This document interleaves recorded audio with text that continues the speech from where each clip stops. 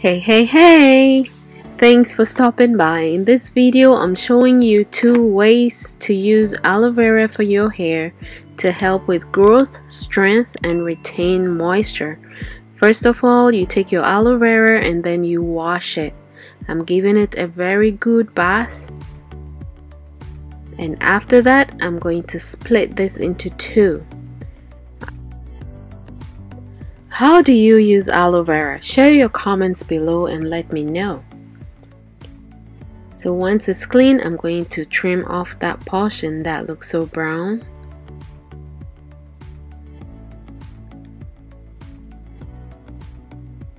Aloe vera offers many healthy benefits for the hair if you are looking to grow your hair, retain length, and then maintain moisture. It's now time for me to divide it into two or just cut a portion. The first thing we're going to do is the aloe vera oil. I'm going to trim off the pokey edges or the thorny edges. So that's what I'm doing now. And I'm going to cut it into pieces and add into olive oil and then let it cook for a little bit. I'm also going to include coconut oil. So let's start the process of preparing the aloe vera coconut oil recipe for hair growth moisture retention and strength. So the oil is in the pan already. And so I've just added the aloe vera and as you can see it's cooking nicely. And that's the scoop of coconut oil you can add the coconut oil actually before you add the um, aloe vera oil but it doesn't really matter. It doesn't make much of a difference. The coconut oil does allow the does cause the foam the oil to foam but there's nothing wrong with that. It's still healthy. So now it's ready and I'm taking out the cooked aloe vera just throwing it out and then I'll pour my oil into an oil container that I'll be using until I run out and then go through the same process.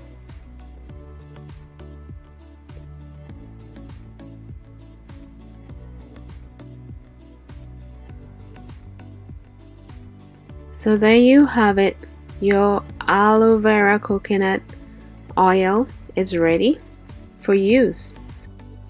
The second recipe is aloe vera as a moisturizing detangler and that's what we're going to do now.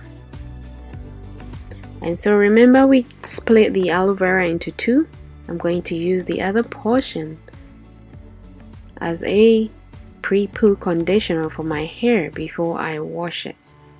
So again, we trim off the thorny edges.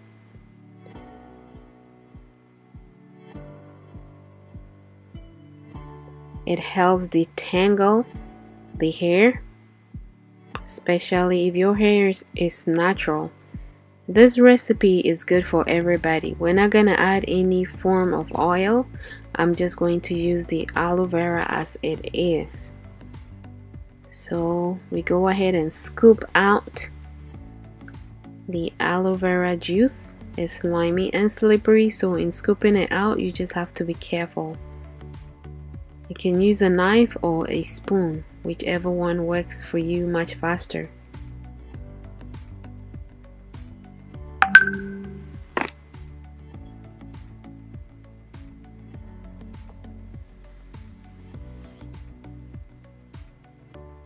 And once you finish scooping these, you can go ahead and blend it. When you blend it, it becomes much smoother.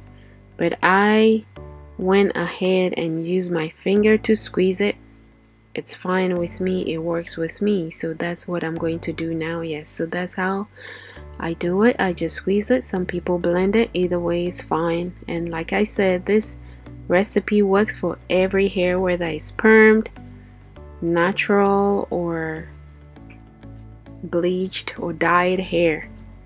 It works perfectly. It helps detangle knotted hair adds moisture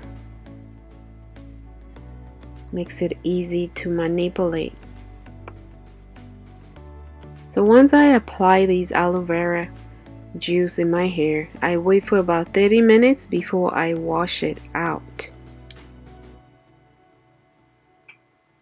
And then just wash with your regular shampoo and conditioner. And then that's about it. If you haven't subscribed to my channel already, please go ahead and subscribe like, share this video and then press on the bell on the side so that each time I upload a video you can get notification. Once I finish adding the aloe vera into my hair, I wash and everything is clean, I just go back to the oil and then apply the oil into my hair as a form of a leave-in conditioner. And that brings us to the end of the video. Thank you so much for stopping by and I will see you again in my next video. Thank you. Have a blessed day. Bye.